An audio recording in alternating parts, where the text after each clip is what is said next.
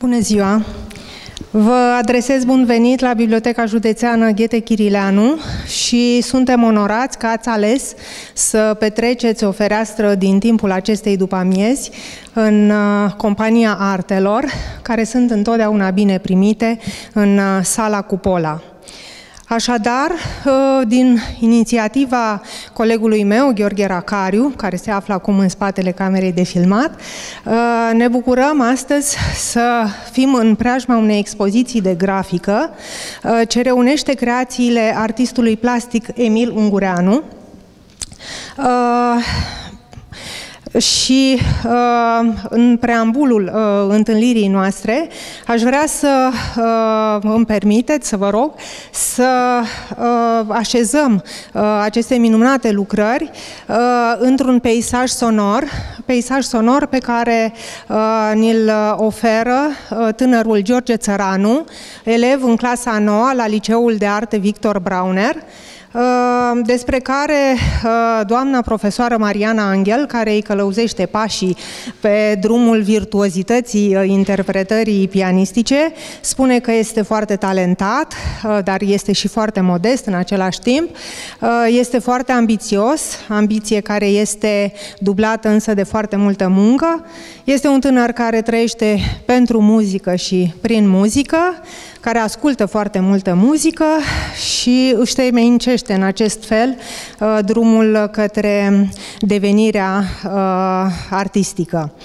Uh, el ne va oferi o acoladă muzicală, prima acoladă muzicală și va interpreta preludiul și fuga numărul 14 de Johann Sebastian Bach. Te rugăm, George.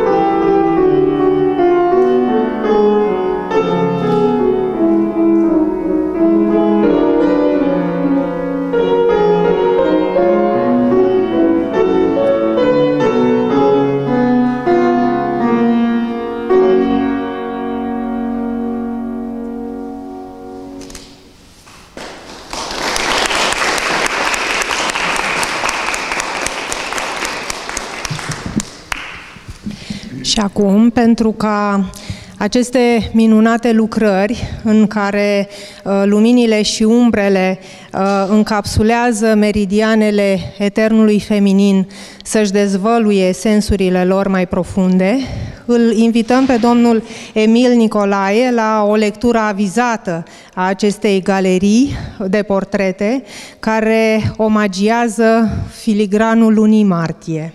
Vă rog, domnul Nicolae. Mulțumesc. Bună seara, vă spun și eu. Da, muzica întotdeauna bate tot, știți, uh, plastic vorbind, pentru că suntem la expoziție, de obicei roșu bate tot.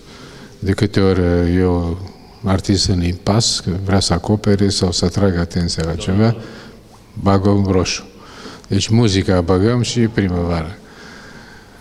Nu, de asta dată e primăvară pentru că așa vrea domnul Emil Ungureanu.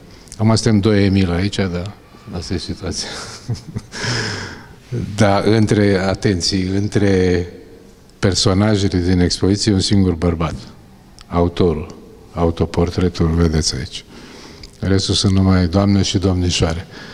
Da, mă gândeam, până acum uh, am văzut și am vorbit despre expozițiile lui Emil Ungureanu în spații neconvenționale, aveam o discuție mai devreme, și o ieșire acum într-un spațiu consacrat ca, ca spațiu expozițional, pentru că el nu e chiar, chiar așa, dar e ok, deci având o respirație mai mare acestei lucrări, dau altfel sau aparent dau altfel. Ele sunt, de fapt, au valoarea lor oriunde ar fi și oricum ar fi, ar fi puse. Dar eu spun că la bibliotecă, o expoziție de grafică, oricând merge mai bine decât o expoziție de ulei sau acril sau altceva. De ce? Nu mă refer neapărat la spațiul ăsta, în principiu. Pentru că, de fapt, expoziția de grafică care se bazează pe desen, desenul e o scritură. Neurologii au și demonstrat că, uh, din punct de vedere neurologic, uh, structurile, suportul neuronal al desenului este tot ăla cu al scrisului.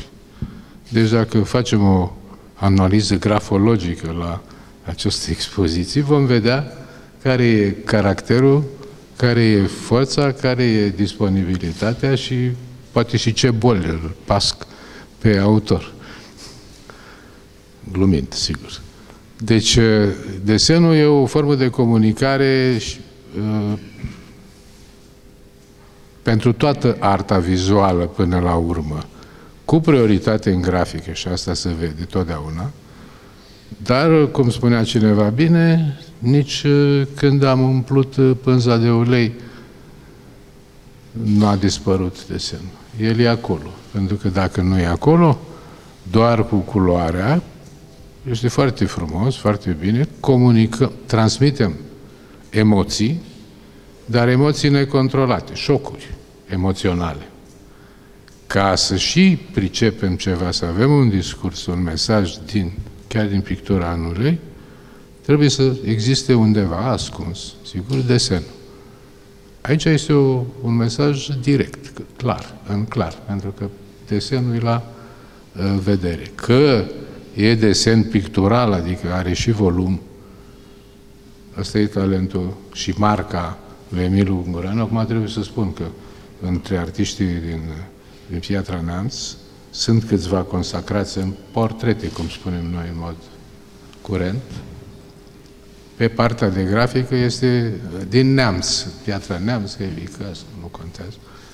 Uh, pe partea de grafică el, că dincolo ar fi uh, Ștefan Potop, pe ulei sau acril sau ce folosește el. Deci uh, e o, o expoziție care îl reprezintă și nu vreau să repet acum ce am mai spus și altă dată, valoarea e indiscutabilă. Acum, dacă vrem să cercetăm, să înțelegem, e până la urmă o colecție de studii de expresii. Că asta e. Nu mă duc eu să-l întreb acum sau să încerc să identific modelul, care e personajul domnișoara, doamna, știu eu. Într-o expoziție mă interesează mai puțin lucrul ăsta, ci mă interesează cum stau toate aceste personaje, cât de comod sau de incomod stau unul lângă altul, ele între ele. Poate că dacă nu e un cor și nu e armonic, apropo de muzică, e chiar mai interesant. Acum, nu știu dacă ați văzut când ați intrat deja jos, mai e o parte din expoziție care n-a încăput aici. Eu am numărat per total vreo 43 sau 44. Aici sunt 25, 24.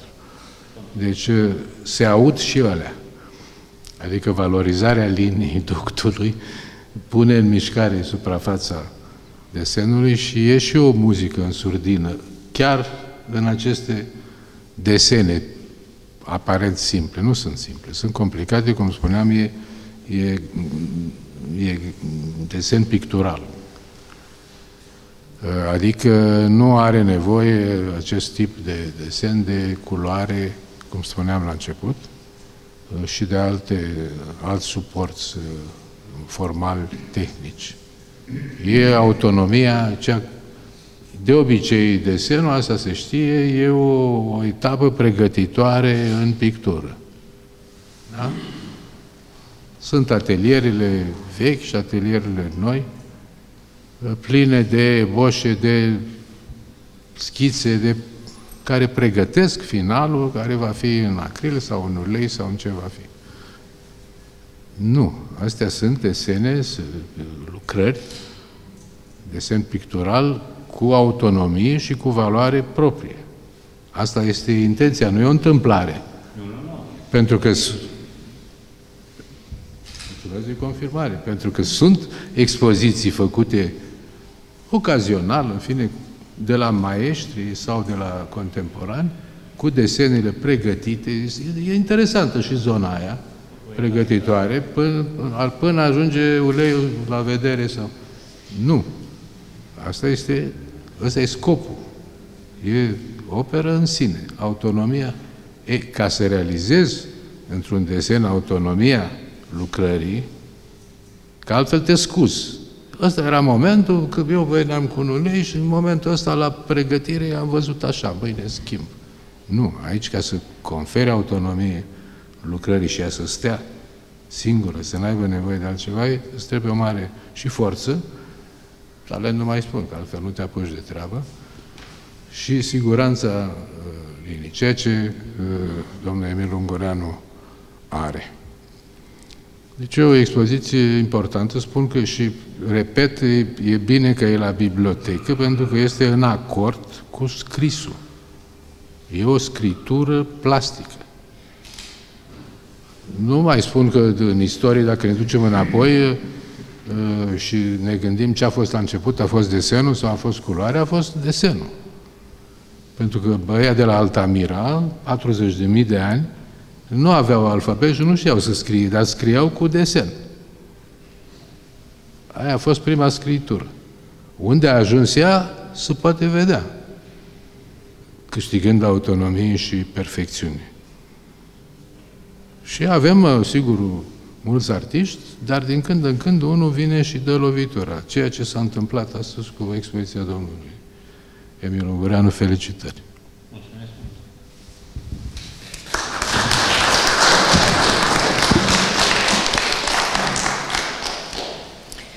Și acum o nouă coladă muzicală. Uh, George Țăranu ne va interpreta balada numărul 3 de Frederic Chopin.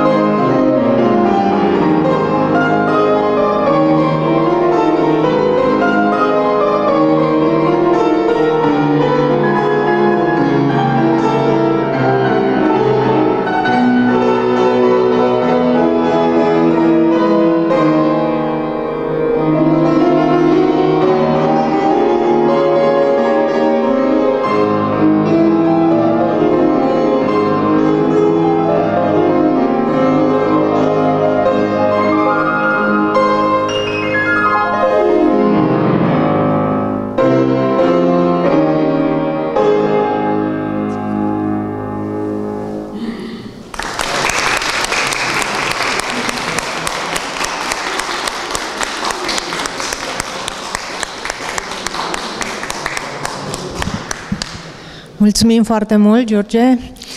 Mulțumim.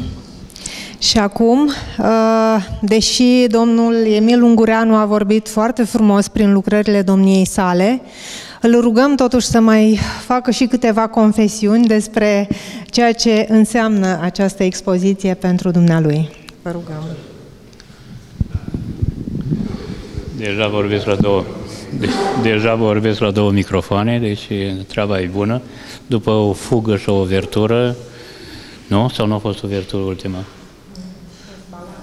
Baladă. Deci o să dau dreptate celor care vor să plimbi, că în franceză se balade înseamnă să te plimbi prin expoziție și să vezi ce anume o rămas pe pereți. Într-adevăr, ultimele lucrări care le vedeți aici sunt rodul ultimii luni de lucru, cam o lună, o lună și ceva. Ce jos? A? Una fizică, cam așa, de Mati. Era un caricaturist care bătea bine acolo, una pe zi. Ce să vă spun, tot, toate trăirile astea care le vedeți acolo, ele se vor într-un fel singulare, fiecare are particularitatea lui, o să trebuiască ca la fiecare probabil să vă opriți un pic, să dialogați, că altfel îi puțin probabil că, fiind prea multe și toate la un loc, să decriptați chiar mesajul fiecăruia. Na, eu, vorba maestrului Emil Nicolae, am scris, scrisul rămâne, verba volant scripta manent, deci dacă o vedeți, o puteți și vă place, eu mă bucur că mi-am atins scopul, că totul este pe drumul cel bun și că toată lumea e mulțumită. Faptul că sunteți aici înseamnă că există un interes. Vă mulțumesc pentru faptul că sunteți într-un număr relativ mare. Eu nu sunt adeptul și nu am fost niciodată să expun în spații în astea acreditate, adică galerii, am fost mai mult prin baruri, discoteci de tânăr, dar uh, mai târziu am învățat că putem și expune, nu numai să bem. Așa că am intrat uh, acum în lumea celor care na, uh, sunt mai aproape de, de a fi vizualizate. Nu știu cât de mult place. Antrenul dintr-un bar este cu totul altul. Na, lumea văd că e mai... nu râde, nu, Aici, na, acolo toate timpul, sunt mai di, divers și încă, na, probabil un pahar de... O să vină și un pahar, avem din spate pe acolo, probabil ca să ne vine dispunem că avem așa o figură de morgă, așa. Eu am făcut mai puțin, mai, mai, mai zâmbăreți, unii chiar transmit, unii chiar plâng din personajele care o să le vedeți și aici și jos. Le-am amestecat, este un talmeș, balmeș și așa de expresii pe care le las la latitudinea dumneavoastră să le luați în, în seama. Vă mulțumesc foarte mult, mulțumesc pentru prezență, mulțumesc gazdelor care au fost foarte primitoare, mulțumesc domnului Emil Nicolae care și-a făcut din uh, un, na, mi-a făcut un cuvânt extraordinar, nu așteptam să fiu așa de bun, a nimerit-o data asta, adică am ieșit la rampă cu ce trebuia. Na, în rest, vă doresc vizionarii plăcută. Și, na, eu o să scriu în continuare, adică na, nu o să scriu cărți, dar din astea cu emoții care vi le găsiți pe perete, o să le, o să le mai adun. Vă mulțumesc!